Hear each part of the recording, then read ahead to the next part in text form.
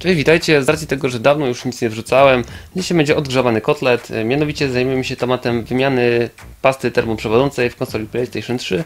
No, poprzednio było czyszczenie, teraz będzie e, wymiana też pasty. E, No, tego filmiku minął kilka lat, także na pewno też się zakurzyła trochę w środku, to też od razu ją przeczyścimy. W każdym razie skupimy się na najistotniejszych rzeczy, czyli pasta termiczna. Ja mam Big White The DC1. Pasta fajnie się sprawdziła, w porównaniu do tej takiej poprzedniej, z której korzystałem, no mam zysk 6, właściwie stratę 6 stopni Celsjusza na komputerze, także myślę, że konsoli też to nie zaszkodzi, także lepiej zainwestować w coś lepszego. No może Grizzly to trochę przesada, ale jeżeli ktoś chce, to czemu nie? E, Dobra, pomijamy już kwestię zdejmowania śrubek, jak e, oglądaliście poprzedni film, to wiecie jak to zrobić. E, Zdejmujemy się teraz stricte samą jedyną pasty, czyli zdejmujemy obudowę. Pamiętajmy, żeby nie połamać zatrzasków przy tym. Yy, I teraz po kolei idziemy tak jak wtedy. Musimy demontować yy, poszczególne podzespoły. Jednak najpierw yy, zajmiemy się wypięciem zasilania. No i może w sumie zdejmiemy jednak samo i zasilanie na początku. Jakiś prosty śrubokręt. Polecam się zapatrzyć tutaj w taki zestaw. No, był dostępny w Lidlu. Dzięki temu właściwie będziemy mieli wszystko, co jest potrzebne do rozkręcania konsoli. E, więc tak, zajmuję się od demontażu zasilacza. To jest jak poprzednio. Wykręcamy śrubkę jedną, drugą. Żeby ich tylko nie zgubić. Tak jak poprzednio musimy zdemontować uważając na te dwa piny, które tutaj są. Tak żeby ich nie wyłamać. O, to też możemy odłączyć w sumie. Dobra, i tutaj są te dwa dinksy. Trzeba to w miarę równo do góry. Z wyczuciem, żeby to wyskoczyło. Mówię o tym. Yy, dobra, odkładamy na bok. Yy, od demontażu wiatraka. Najpierw jego zasilanie.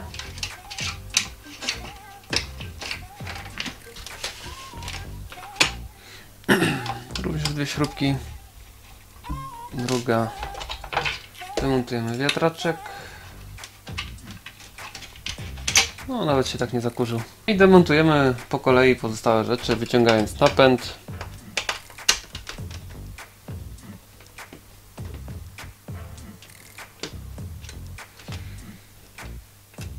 Tak. Najpierw wyciągamy wtyczkę zasilającą napęd, no i transmisję danych tego nie urwać. Do góry podważamy i wysuwamy. Wrzucamy napęd, teraz musimy zdjąć e, naszą panel włączeń. Po prostu trochę podważamy i go wyciągamy. Tak, też żeby nie urwać tutaj tej tasiemki, to możemy ją po prostu wysunąć. Potem pamiętajmy gdzie była. E, Kolejny krok to wyciągnięcie napędu.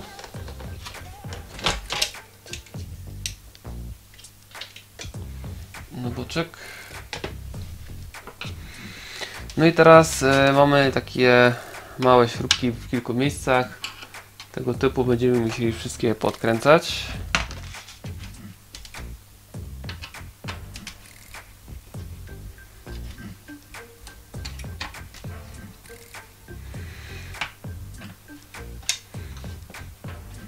Dawno tego nie robiłem. Kolejny. Yy, o czymś zapomniałem. Aha, dobra, antena Wi-Fi, to też musimy odłączyć.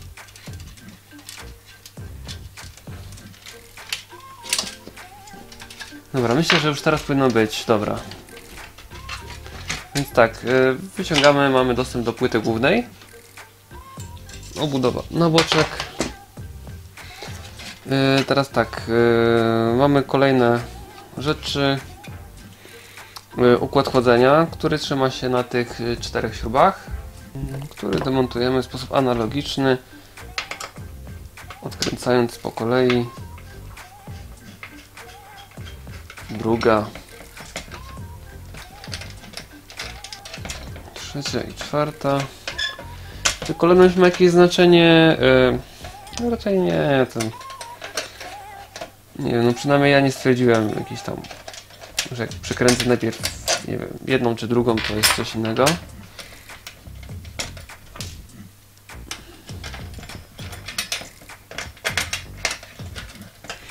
Dobra, tak. Yy, jeszcze tutaj mamy takie śrubki. Dobra, yy, następnie mamy yy, kolejne śrubki. Są na takiego z dużymi szczałkami, wszystkie są srebrne.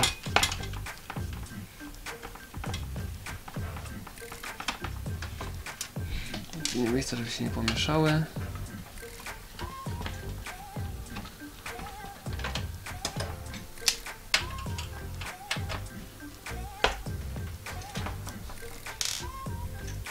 Dobra.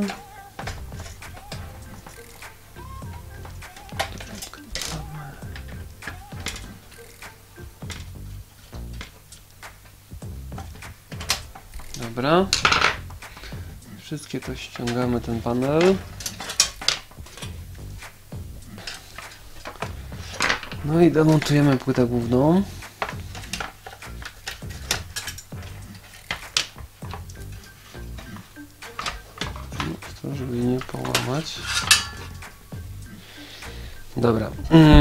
I mamy naszą e, starą pastę termiczną, która widać no, dość kiepsko była rozłożona.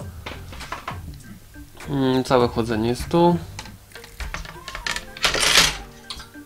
Dobra, y, musimy wyczyścić na początku, usunąć starą pastę, zarówno na y, procesorze, grafice oraz y, chłodzeniu. Użyć jakimś papierowym ręcznikiem, bądź też chusteczką. Właściwie można sobie pomóc.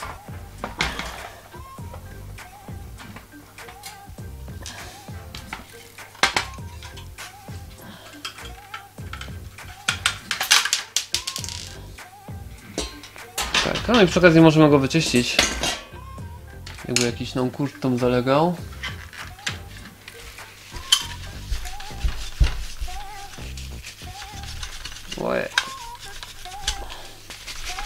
Tak, Trzeba to zrobić.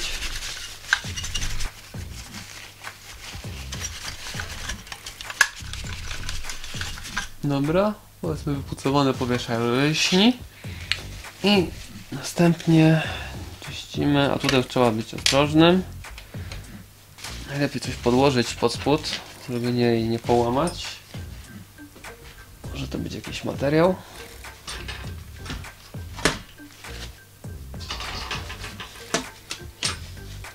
I delikatnie, ale z wyczuciem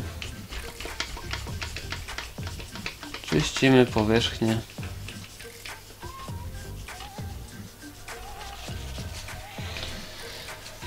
Dobra, jak to już mamy czyste, to możemy przystąpić do nakładania nowej pasty. To jest tak, jeżeli chodzi o pastę, wybieracie tą lepszą, co się opłaci. Może nie finansowo, ale z perspektywy czasu. E, Co do sposobów nakładania, wiemy, że są różne. No ale myślę chyba taka klasyczna, po prostu posmarować na całej powierzchni, rozprowadzić łopatką chyba się najbardziej sprawdza. Ziarko grochu raczej nie polecane jest ogólnie. TX-y równoległe czy też, no to, to zawsze jest coś podobnego. A tak to. Pasta jest dość gęsta.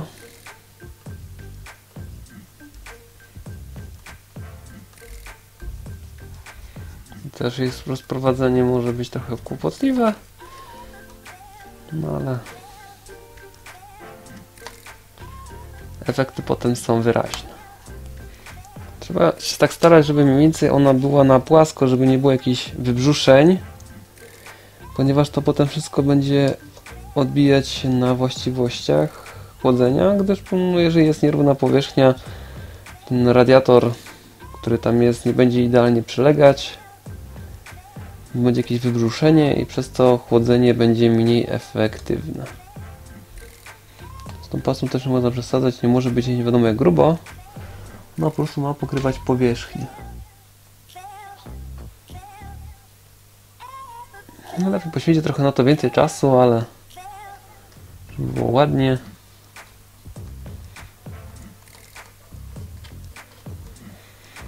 Dobrze. E, mamy to skończone, to na boczek. Mm, Zamykamy. No i teraz wszystko w odwrotnej kolejności tak naprawdę. Yy, no tu nawet jakieś Zauważmy, jakiś termopad jest, bo myślę też było można przy okazji wymienić, gdybym wiedział o jego istnieniu. No a tak to się już trochę rozpada. No trudno, przy następnej okazji może jeszcze go przeczyścimy. W każdym razie, jak coś, to wiedzmy, że tutaj coś takiego jest po prostu i jeżeli macie możliwości, to to można wymienić.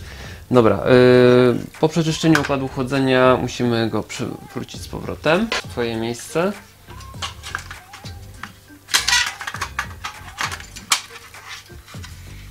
Tak.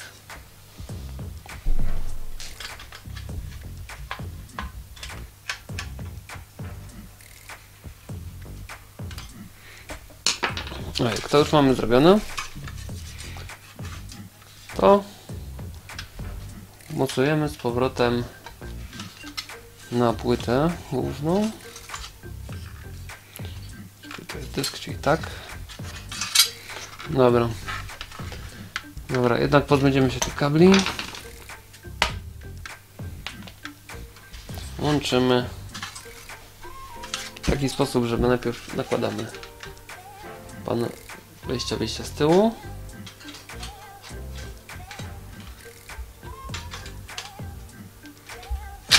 Tak.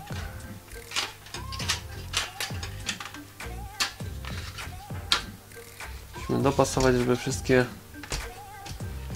wszystkie zatrzaski tego typu pasowały na swoim, były na swoim miejscu.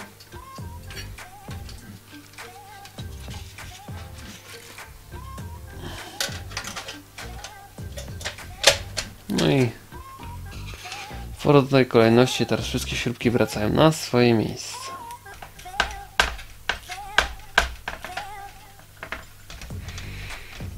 Zawsze przed rozkręceniem warto sobie zrobić zdjęcie, czy na przykład sobie fotografować po kolei krok po kroku, a ewentualnie skręcać razem z tym filmem.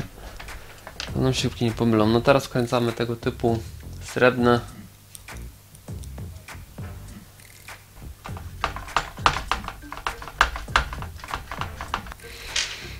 nasze blaszki do, dociskające.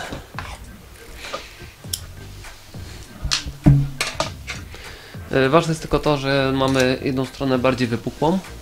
To ona musi być w kierunku no, do spodu po prostu, tak żeby ona bardziej dociskała.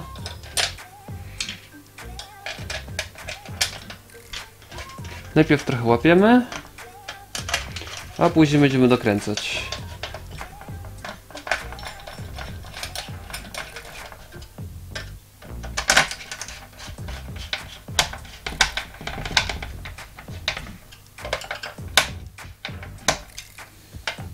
Tak, także na tym etapie naj, najgorsze za nami. Teraz mocujemy z powrotem wszystko do obudowy.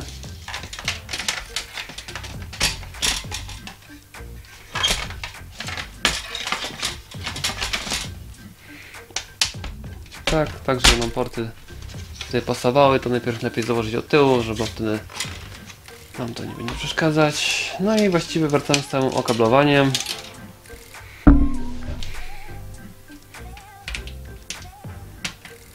Tak jedno zasilanie, drugie.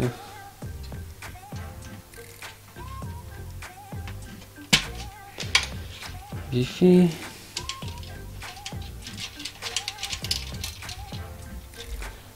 Mm, stykami do przodu.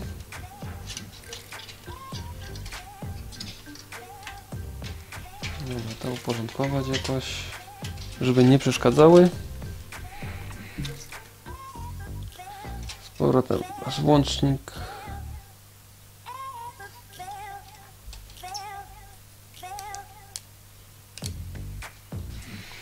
Wiatrak na swoje miejsce.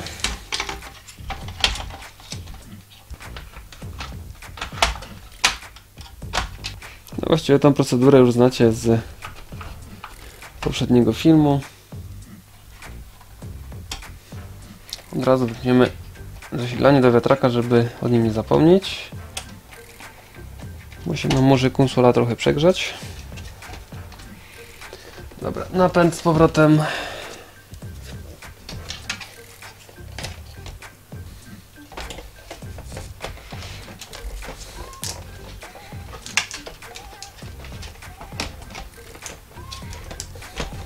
Musi pasować.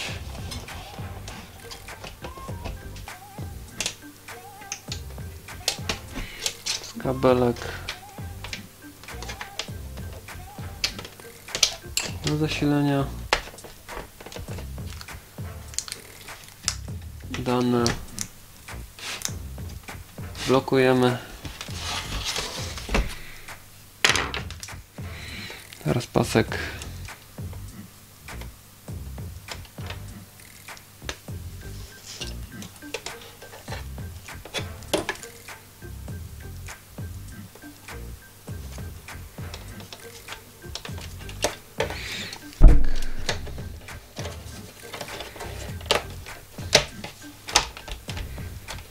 Na końcu zostaje zasilacz. Musimy trafić tymi otworami na te bolce.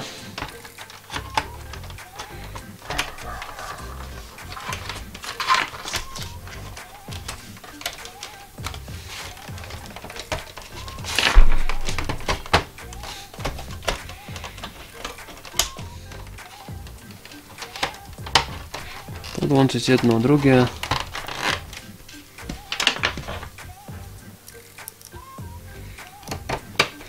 Łapać śrubkami.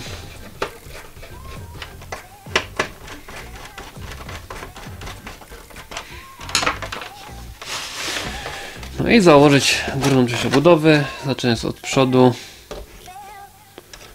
Złapać tymi zatrzaskami. Żeby nie zbierać kabla. I następnie później poskręcać z powrotem te śrubki. No ja o jednej śrubce zapomniałem, także za to sorry. Pamiętamy, że jeszcze dysk jako ostatni wkładamy i to tyle. Dzięki za obejrzenie, sorry za błędy. Trzymajcie się, cześć.